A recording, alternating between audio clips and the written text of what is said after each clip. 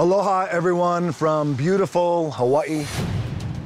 We are here on the island of Oahu, where I did a lot of my growing up.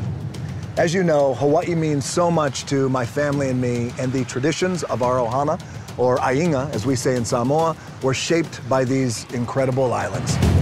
The Pacific Islands and their cultures inspired a very special story, one that you all know very well. And that story is, drum roll please!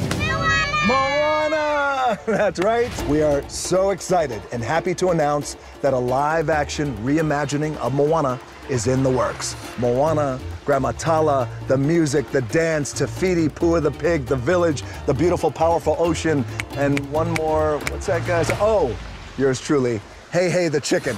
Kidding, Heihei's gonna be in it, but of course Maui will be in it too. As many of you may not know, the brilliant team at Disney Animation, my partners, we found so much inspiration for Maui in the mana and the presence of my late grandfather, the legendary High Chief Peter Maivia.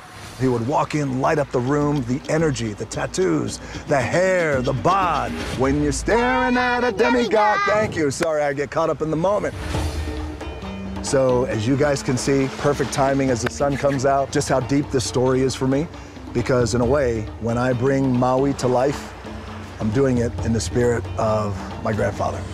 So, uh, it's still very early in the process. There's so much more work to be done, but until then, there is one more thing that I need to kick this journey off right. Hey, girls, do you want to get uh, that special thing that Daddy needs? Wow, you guys are Daddy's daughters. You are so strong. Thank you guys so much. We're gonna go in the ocean. Yes. Oh, look at the love I have. Is Daddy Maui? You guys want ice cream? Yes! See, so Daddy's Maui. Yes, you are!